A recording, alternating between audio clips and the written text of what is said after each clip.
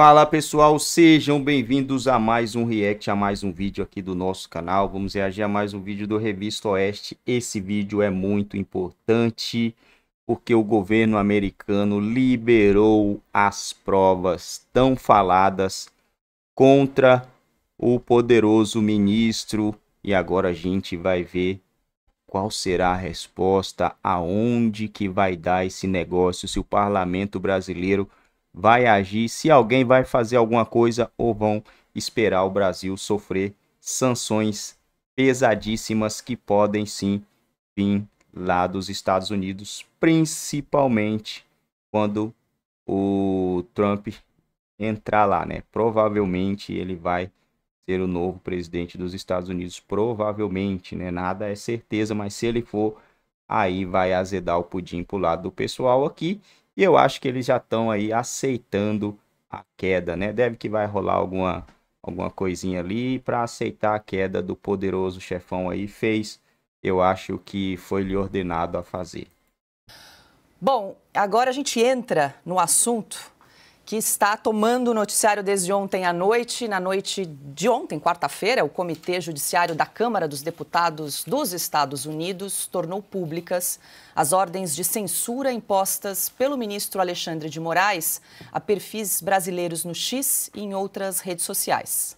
Na noite dessa quarta-feira, o Comitê Judiciário da Câmara dos Deputados dos Estados Unidos tornou públicas as ordens de censura impostas pelo ministro Alexandre de Moraes a perfis brasileiros no X e em outras redes sociais. Nomeado de O Ataque à Liberdade de Expressão no Exterior e o Silêncio do Governo Biden, caso Brasil, o documento de 541 páginas revela que ao menos 300 pessoas foram perseguidas por meio de decisões do ministro. O relatório foi produzido a partir dos registros enviados pela X-Corp ao Comitê da Câmara Norte-Americana. Em um dos trechos, o documento aponta que estes registros revelam, abre aspas, que pelo menos desde 2022, o Supremo Tribunal Federal do Brasil, no qual Moraes atua como juiz, e o Tribunal Superior Eleitoral do Brasil, liderado por Moraes, ordenaram que a X-Corp suspendesse ou removesse quase 150 contas na popular plataforma de rede social, fecha aspas. O parecer destaca ainda que as exigências foram direcionadas especificamente aos críticos do atual governo, em especial a integrantes conservadores do Legislativo Federal, e mostra também os principais alvos do ministro. Entre eles está Jair Bolsonaro, o documento afirma que o TSE censurou o ex-presidente semanas depois das eleições de 2022 por considerar Bolsonaro culpado de praticar propaganda irregular no X por meio de mensagens que eram supostamente falsas ou estavam fora do contexto. Outro nome mencionado no relatório do comitê é o de Bruno Ayub Monteiro, monarque. Segundo o texto, o comunicador foi censurado pelo ministro Alexandre de Moraes por criticar justamente, abre aspas, a censura a brasileiros, fecha aspas. Um dos argumentos utilizados por Moraes para fundamentar sua decisão foi a realização de uma entrevista feita pelo influenciador com o deputado Felipe Barros, em que supostamente são propagadas aspas para o ministro do Supremo, notícias falsas sobre a integridade das instituições eleitorais. Fecha aspas. Na decisão, Moraes afirma que Monarque pode ter atuado como instigador dos atos do 8 de janeiro por meio das redes sociais.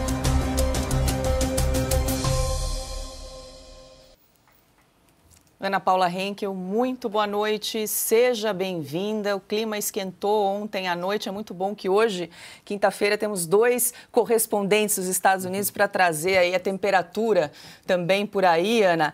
E aí quero aproveitar, nós fizemos aí um retrospecto, tentamos fazer um resumo, porque são 541 páginas, tem muita coisa para a gente comentar aqui ao longo do programa, desse relatório que foi elaborado aí pelo Comitê da Câmara dos Deputados do Congresso americano, Ana Mas a gente fez também uma arte só para a gente trazer também um cronograma, uma cronologia dos fatos, porque nós temos falado aqui no programa desde o início desse mês de abril que a coisa iria escalar, que a coisa não iria parar, que iria avançar o assunto. E a gente tem acompanhado. Mas é importante que quem nos acompanha também do outro lado da tela esteja na mesma página, né, Ana? Porque pode ser que alguém tenha perdido algum fato aí pelo meio do caminho. Então a gente preparou uma arte, que eu vou até pedir para a produção exibir na tela, só para a gente trazer rapidamente aqui a cronologia dos fatos. Então nós temos aí no dia 3 de abril, temos aí, produção, essa arte está pronta para a gente exibir? Senão a gente começa com um comentário. Ah, tá aí, pronto. No dia 3 de abril, nós temos então o jornalista americano Michael Schellenberger, também com participação de dois jornalistas brasileiros, divulgando os documentos do Twitter Files Brasil, que é aquela troca de e-mails aí de funcionários da rede social sobre decisões judiciais brasileiras. No dia 6 de abril, então, o empresário Elon Musk, dono da rede social X, entra com os dois pés nesse embate uh, com o ministro Alexandre de Moraes, se manifesta nas redes sociais, faz aquela frase, aquela pergunta para o ministro Moraes por que tanta censura no Brasil e diz, inclusive, que vai liberar documentos e as contas que estão bloqueadas aqui nas redes sociais. No dia 7 de abril, o ministro Alexandre de Moraes, então, incluiu Elon Musk no inquérito das milícias digitais, inclusive estipulou uma multa diária caso Elon Musk descumprisse as ordens judiciais aqui de bloqueio das contas nas redes. No dia 10 de abril, o representante do TUX no Brasil, advogado Diego de Lima Gualda, apresenta uma carta de renúncia e deixa o cargo.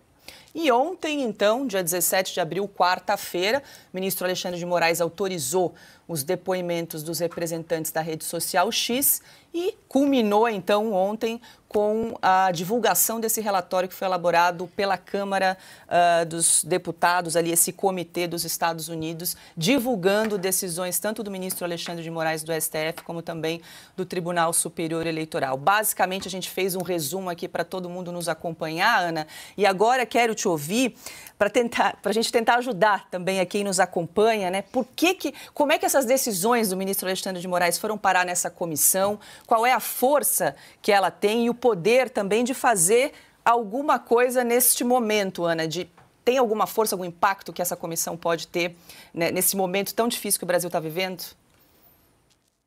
Bom, vamos lá, ufa, né, Paula? Que, que lenha, não é mesmo? Que lenha, que história, que embrólio histórico para o Brasil e também para os americanos aqui. Boa noite, Paula, Pioto, Silvio, querido Consta, muito boa noite à nossa audiência maravilhosa.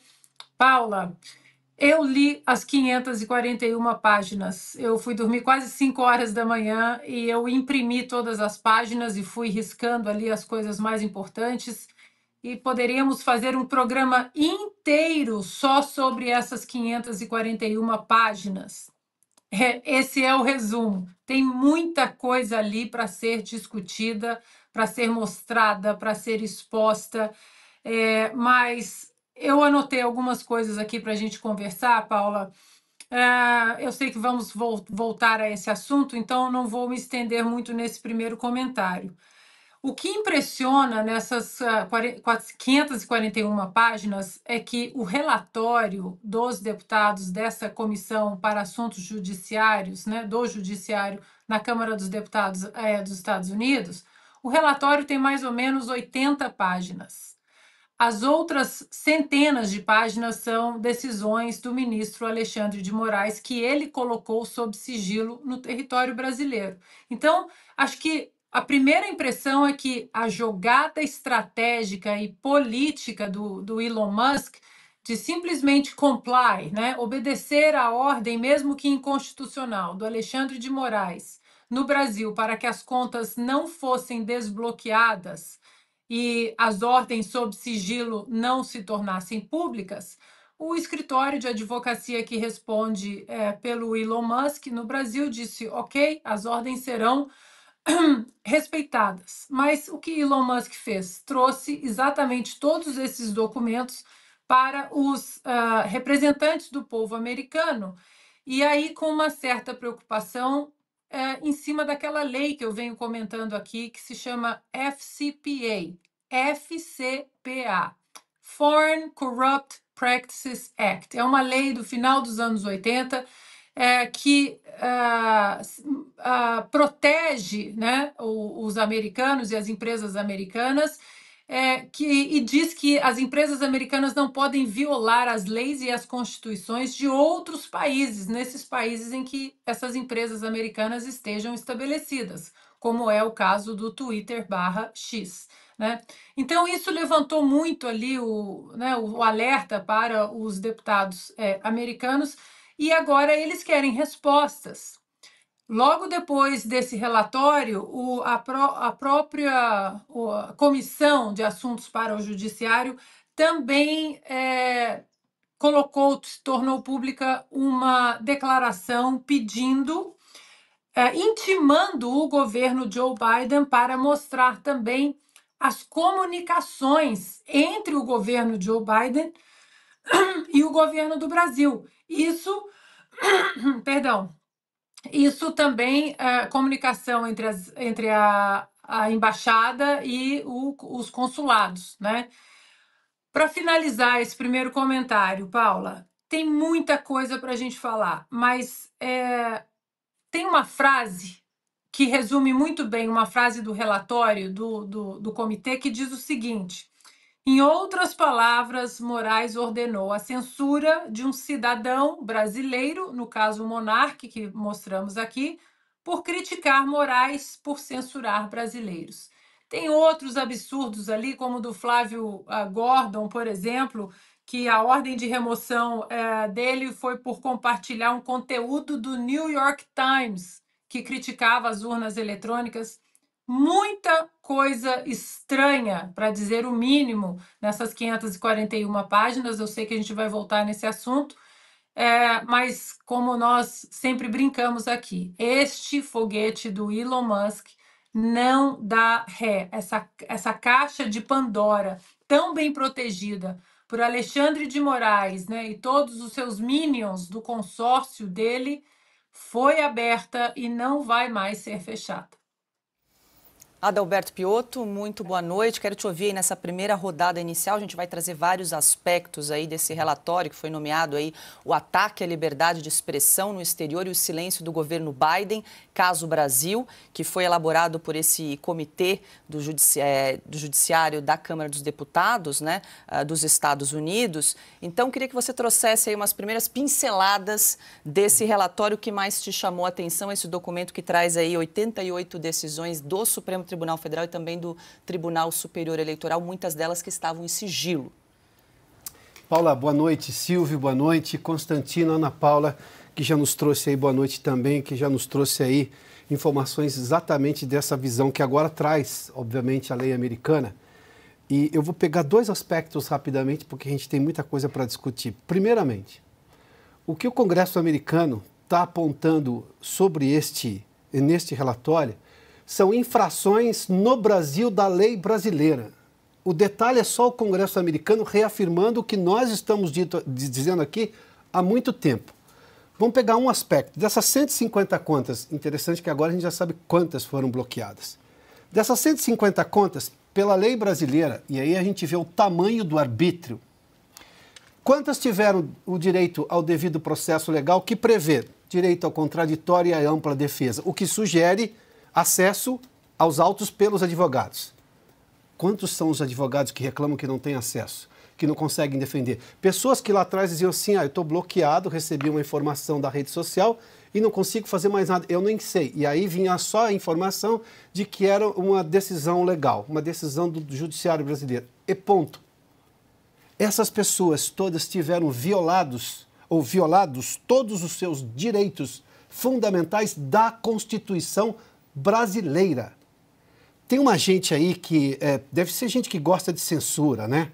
É, que está dizendo assim, ah, mas é o Congresso americano. O que o Congresso americano está apontando, o que o Elon Musk apontou, o que, por exemplo, os jornalistas do Twitter Files lá, lá atrás apontaram, é que a lei brasileira estava sendo violada por legislador, por, por autoridades do judiciário brasileiro. E que brasileiros estavam sendo vítimas da violação dessas leis.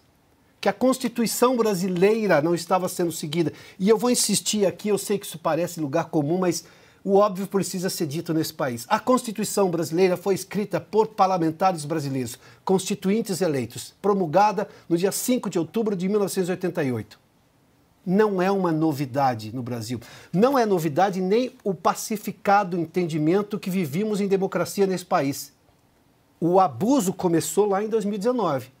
As coisas diferentes começaram lá em 2019. É contra isso que os brasileiros estão reclamando. Daí a pergunta: se o governo Biden ficou omisso, o governo brasileiro foi complacente. Este atual governo está sendo complacente, porque o anterior gritava contra, defendendo que se jogasse dentro das quatro linhas, a liberdade de expressão.